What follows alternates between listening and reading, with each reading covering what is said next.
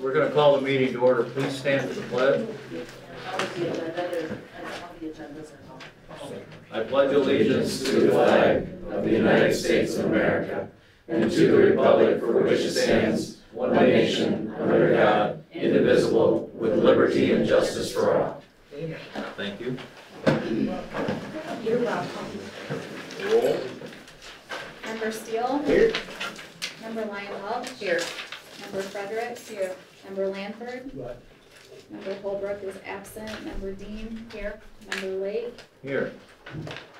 Uh, Next, we have the uh, Brian Stevens, Coldwater High School 2024 Advanced Placement Scores Presentation.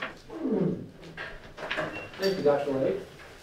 Thank you, board. Appreciate you giving us the time to uh, talk about our AP program at the high school. My name is Brian Stevens, and I'm teaching there for a long time. And uh, I'm happy to talk to you about our AP program. So maybe I should give a little overview for for folks that may not be familiar. AP stands for Advanced Placement. Uh, It's a program that's set up by the College Board. What it does, it sets up a curriculum for different disciplines for students to take a class. And at the end of the year, they take a test that's given globally throughout the world, actually. And they get scores. The scores go from one to five. Uh, one is the lowest score, one and two, generally speaking, are scores that are not accepted for college credit. And then three and above are considered be for college uh, credit. So um, we've been doing pretty well at Coldwater High School for the last few years. And I'm happy to tell you that last year, I think, I'm not absolutely sure, but we had our highest year in terms of test pass, with kids getting threes and above. That's 234 tests. So that comes out to be uh, over 700 college credits. So if you take a student at Michigan State and you multiply those credits by, uh, I think it's $527 per credit, if a kid went to Michigan State, they would save $3,000, $377,325. It's an immense savings for our students, and this applies all throughout um, different universities throughout the United States. So we're really happy about that. I think we have a great uh, program going on here. And you may or may not know the AP classes that we actually offer. So when I first got to Coldwater, my first two years, my first year, there were only two classes offered, AP Calculus and AP English Literature.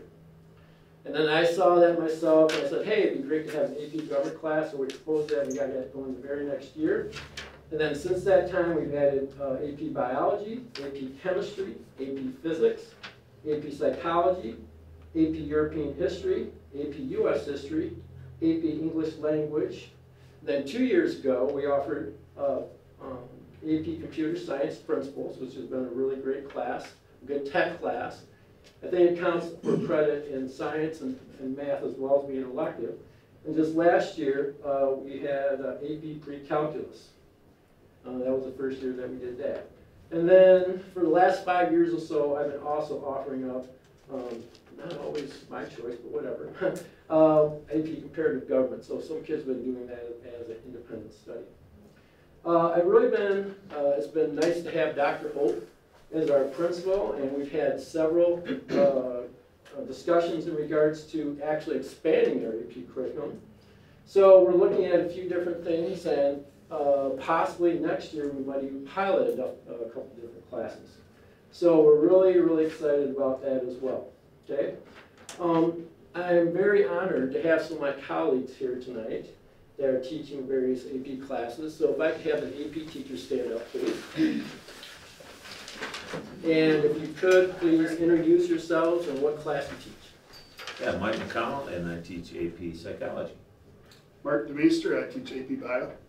Ryan Sheets, AP Calculus and AP Pre-Calculus. Toby Kirk, I did AP US History as an independent study last year. Bob Hostetler, AP Chemistry. Kaylin Moore, AP US History. Thank you. I, I really like to, they all do a great job. They're excellent colleagues.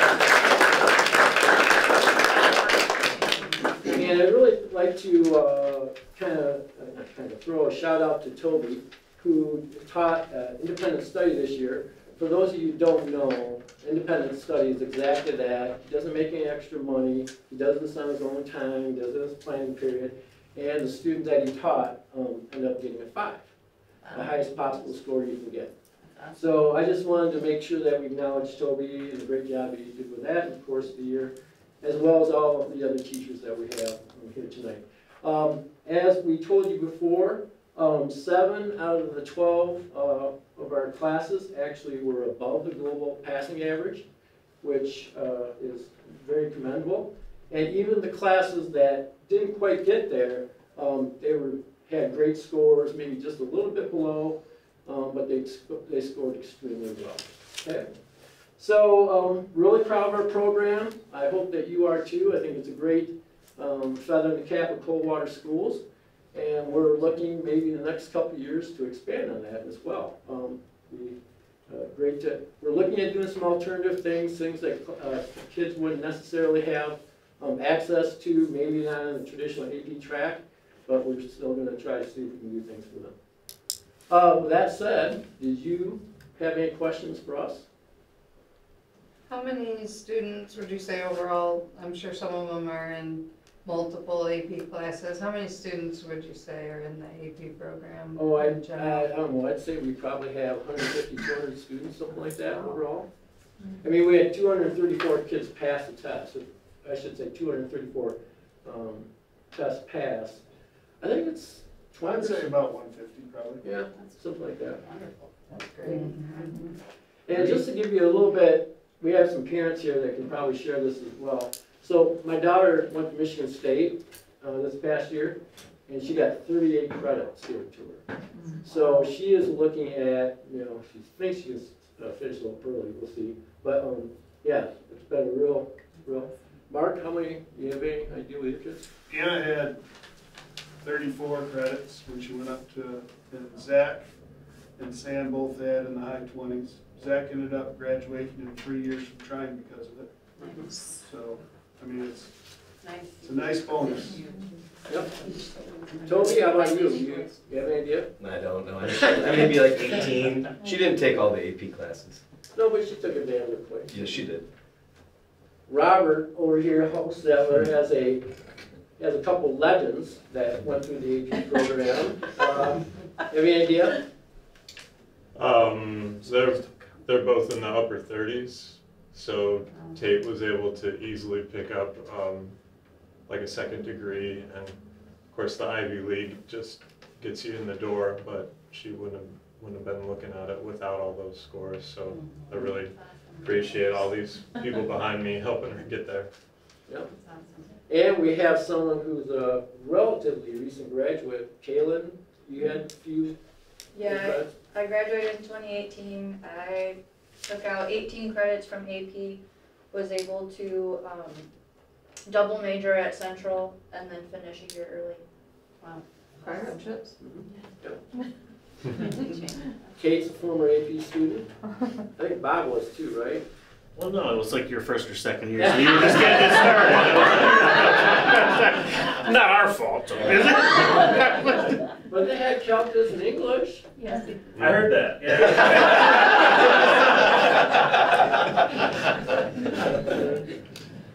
No. Uh, any other questions or comments?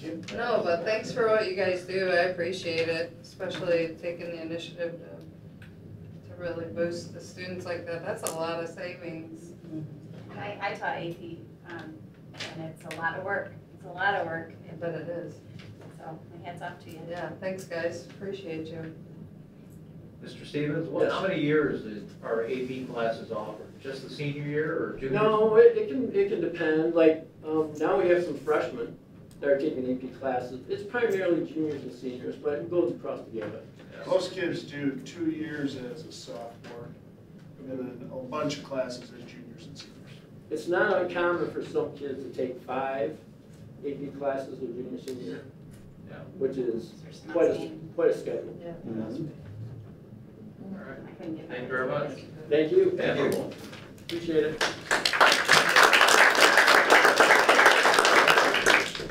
Now, we'd love to have all of these teachers stay, but they, I don't feel the need, that they need to stay.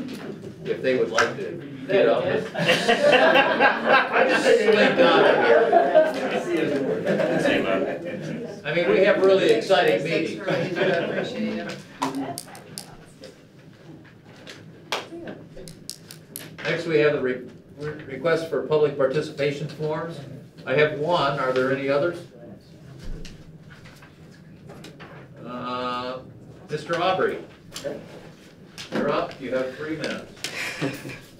Um, this is my wife and I's uh, information that we were concerned with the school and the kids. Um, our daughter goes to middle school in eighth grade.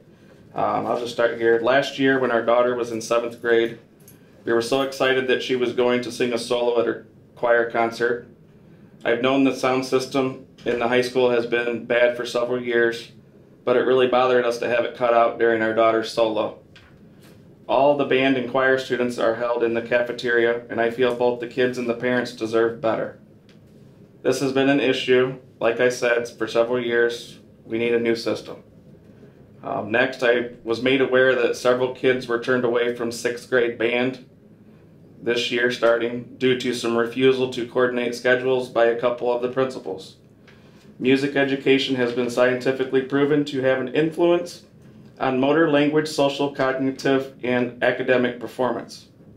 Additionally, music education has been shown to improve emotional well being, and with the increase in child and teen anxiety, I would think it would be a no brainer that an emphasis should be placed on getting as many students involved in band choir as possible. Sadly, it seems the athletes are given more funding and attention than the arts in schools. That needs to change. Lastly, I need to express how frustrated I am about the middle school lunchtime. 17% of the U.S. teens are obese, and I always hear about programs that aim to get kids more active. But they aren't even allowed to stand up at lunch other than to get their food. When I was in school, we were encouraged to go to the gym after we finished our lunches to let off some energy. These kids are warned to not get up or they are, will get detention. My wife even contacted the school only to be told that there are too many students to allow them to move around in the cafeteria.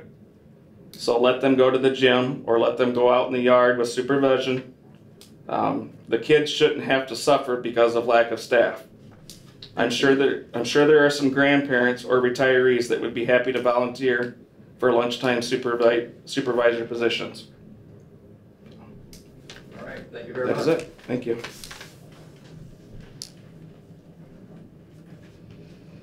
Uh, Next, we have the approval of the minutes from August 28th. 26th. Is there a motion? So, Sport. Any discussion? All in favor? Aye. Opposed? Motion passes. Uh, Approval of agenda additions or deletions? We have one addition to the personnel report, uh, resignation of a 31N social worker uh, at the, at Lakeland, uh, October, uh, effective October 4th. All right, thank you. Uh, Next, we have the consent agenda. Are there any communications? There are none. Personnel recommendations? Mr. Flynn? Um, Be it resolved that relative to certified staff recommendations, the Board of Education approved the administrative recommendation to employ Jill Hardway as principal for Max Larson Elementary effective September 16, 2024. The Board of Education approved the administrative recommendation to employ Robert Iwanaki for the fifth grade teaching position at Lakeland Elementary effective September 16, 2024. Approved the administrative recommendation to employ Rebecca Simons as the teacher for the after-school program at Coldwater High School, effective immediately upon board approval. And the Board of Education accepting with regret the resignation of Miranda Dominique from the first grade teaching position at Max Larson Elementary, effective September 27, 2024. Um, Relatives to support staff recommendations, the Board of Education um, accept the resignation of Lakeland's 31N social worker Jody Lytle, effective at the end of the day, October 4th. The Board of Education approved the administrative recommendation to employ Kawa Anajar for the part-time parent liaison position for Coldwater Community Schools, effective immediately upon board approval. The Board of Education approved the administrative recommendation to employ Alan Fleming for the part-time RTC coordinator position at Legg Middle School, effective immediately upon board approval. The Board of Education approved the administrative recommendation to employ Cheryl Hoffman for the part-time bus monitor position, effective immediately upon board approval. And the Board of Education approved the administrative recommendation to employ Sarah Jones for the part-time bus monitor position, effective immediately upon board approval. And the Board of Education approved the administrative recommendation for the following extra duty position as outlined below, Ken Smokers varsity girls basketball coach. Thank you. Did he resign the position? He had to for, because of the retirement laws. Oh. Thank you. Mhm. Uh, Next, we have the approval of the accounts for payment and financial statements via Dr. Lanford. Be it resolved that the following accounts for August be approved for payment as follows. General fund accounts in the amount of two million, six hundred twenty-one thousand, nine hundred twenty-eight dollars and fifty-six cents. And special revenue accounts in the amount of one hundred two thousand, ninety-six dollars and seventy-two cents. And be it resolved that the general fund financial statements be approved as presented. So there. Thank you. And next, we have the acceptance and approval of gifts by Member Frederick. Um, Recently, the administration was made aware of the following gifts offered by the donors listed below. Recognition and approval for acceptance of the gifts are being sought. Southern Michigan Bank and Trust, monetary funds to be used as needed to CHS Cardinal Academy in the amount of one thousand dollars. Troy Gruner, monetary funds for CHS National Honor Society in the amount of six hundred dollars. CHS Interact Club, monetary funds from the ABC Challenge Participation Grant for class enrichment uh, to Alexis Delisandro for two hundred dollars. Uh, Alpha Beta Sigma Phi, monetary funds for the purchase of new books for incoming kindergarten and young five students. Uh, to Max Larson Elementary for four hundred and seventy-seven dollars. Branch County Community Foundation, monetary funds from the Youth Advisory Council. Um, CHS Banking Club in the amount of three thousand three hundred dollars. Additionally, the teachers listed below have received monetary funds from the Good, Better, Best grant through the E.D. Klein Youth and Family Center. Kelly Murphy at Lakeland Elementary, five hundred dollars. Amy Fedor at Lakeland, three hundred dollars. Chris Hageman at Lakeland, five hundred dollars. Alyssa Cornell at Lakeland, five hundred dollars. Gail Rogers at Lakeland, four hundred and fifty dollars. The gracious and continued support of the donors listed above is sincerely appreciated. We ask that the board accept the gifts, gifts noted and acknowledge the donors' generosity. Be it resolved that the Board of Education gratefully accepts the gifts as presented. Be it further resolved that a letter of appreciation on behalf of the- the board be sent to the donors indicated above for their worthwhile and generous gifts. Thank you, Dr. Frederick.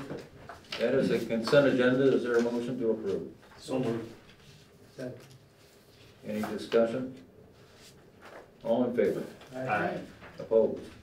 Motion passes. Next, we have the building reports. Uh, Would the principals like to add anything? Very smart of you. Uh, The Director of Curriculum and Instruction report is in there. Where did he go? Anything you want to add? Well, you just said they were smart for not saying anything, so I guess I better follow suit. I hope you're not planning on taking any credit for the APs. I wouldn't think of it. Okay. The uh, board committee reports, did we have any? We did not. Okay. Superintendent's report. Um, Earlier, before the meeting, I handed you out a copy of my, my board report. Um, One of the, one of the movements that we have going on uh, through cooperation with Calhoun ISD is upgrading our cybersecurity. Um, We're seeing, well, we, education is seeing more and more school districts uh, that are being hacked through um, insecure areas. So we have implemented online training for all staff. Uh, Calhoun ISD will begin phishing tests, uh, sending out emails to try to get uh, staff members to click on and open things that they shouldn't open, uh, and then that would be reported to us, because that's how many of the hacks uh, in school systems um, get in. And we're also looking at the implementation of a multi-factor authentication protocol and a timeline. So that will be coming soon, but that, that will make it for our staff, just like when you go onto your bank's uh, online account, you have to either get a text or an email that will give you a code to then log into the system.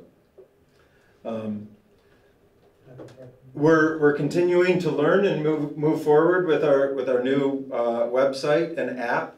Um, still have some quirks in our emails, but it's getting better. At the beginning, a lot were getting bounced back because of firewall issues.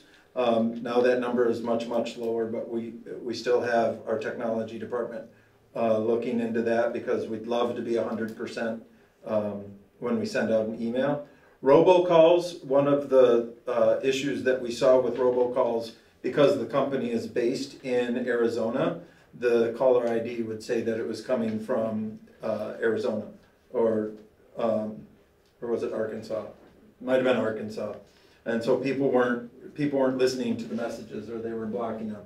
So um, I met with the company this past week and they said that they can absolutely get us a, a Coldwater number so more and more people will have access to that or be willing to listen to those robocalls. Will it come up Coldwater schools when it, on caller ID? I'm hoping so. That's what we're trying for. That's what we're trying for.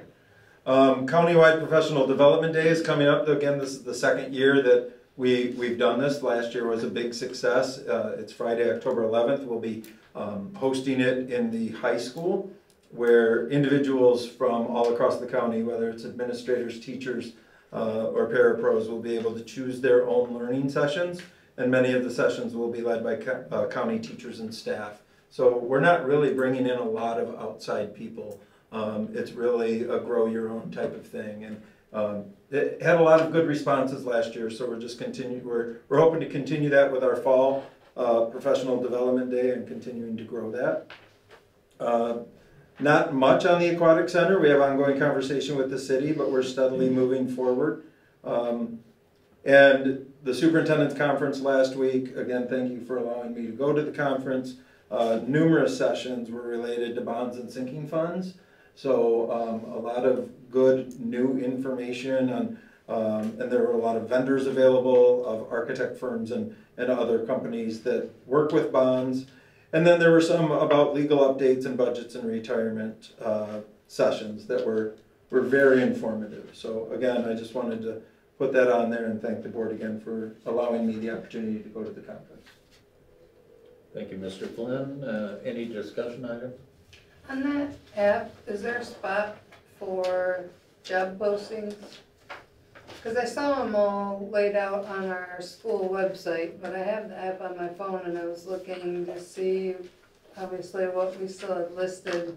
And I couldn't find a spot. Is that just me, user I think you have, I think you have to somewhere? dig for it, but we can take it close, yeah. we I can just look at wondered, that. with as many positions that schools have needing to Right. be filled. ahead, Sean. I can brief you after the meeting.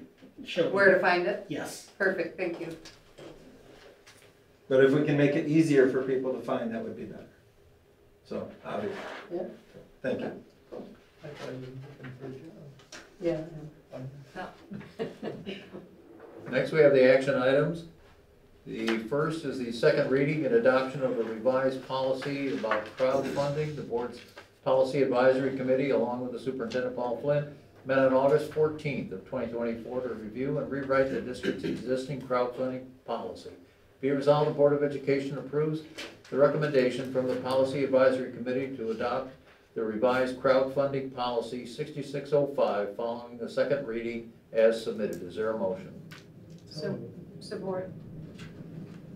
Any discussion? All in favor? Aye. Opposed?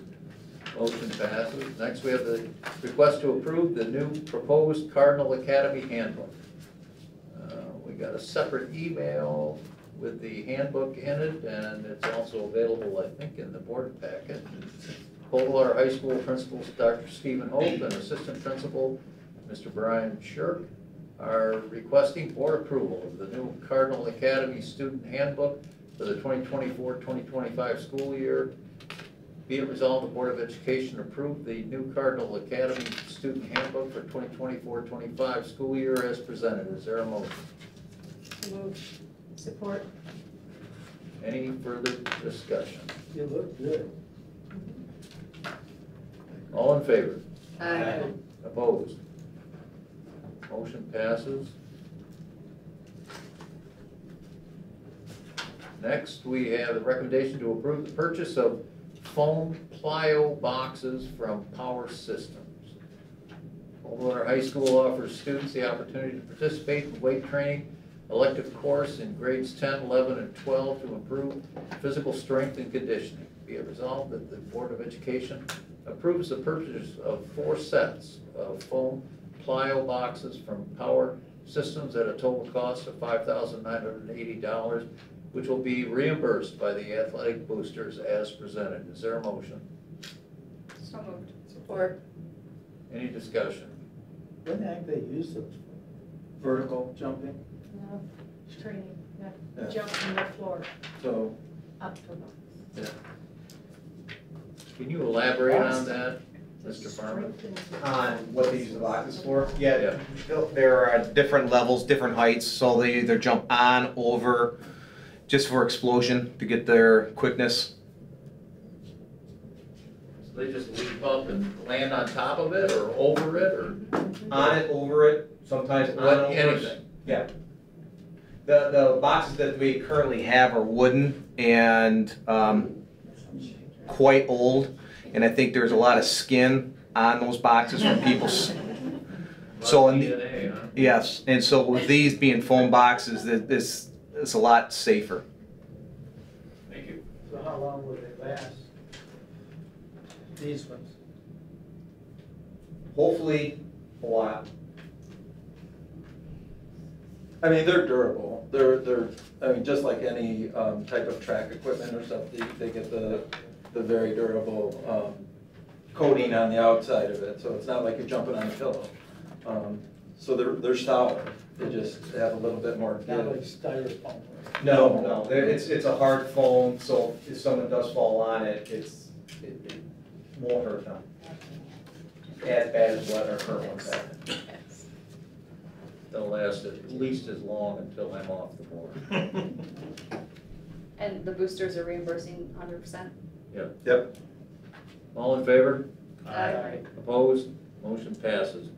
The next regular meeting of the Board of Education will be held Monday, October twenty-eighth, twenty twenty-four, at uh, six o'clock in the evening at the Administrative Service Center located at four oh one Sauk River Drive in Coldwater.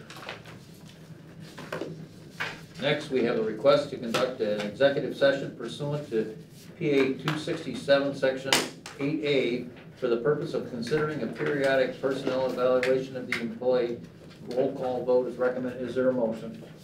So moved. Support.